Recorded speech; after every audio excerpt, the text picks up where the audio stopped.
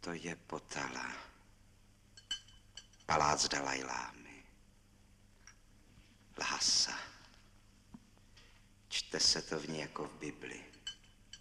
Pán Bůh to zařídil dobře, když řekl člověku, pomni, že prach si a v prach se obrátíš. Takové krematorium je vlastně, milí přátelé, velmi bohumilá věc.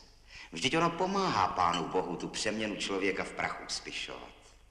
Lidé však někdy namítají, že Kristus Pán nebyl také spálen, ale pohřben do země. No jo, milí přátelé, ale to je něco jiného. Já vždycky těm dobrým lidem říkám, spasitele balzamovali, ovinuli plátnem a pohřbili v jeskyni. Ale vás nikdo nebude pohřbívat v jeskyni a balit do plátna. Podívejte, milí přátelé, my žijeme v dobrém lidském státě, který krematorium zřizuje, ale ne přece jen tak pro nic za nic, aby se tam lidé chodili dívat jako do muzeí.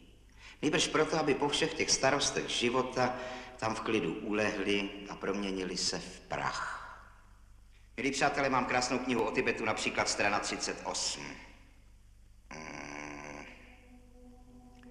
Utrpení je zlo, které máme odstraňovat, nebo aspoň zmírňovat. Čím dřív se člověk navrátí v prach, tím se dřív osvobodí, promění, osvítí, převtělí. Zvíře ostatně též. V zemi to trvá 20 let, v krematoriu 75 minut.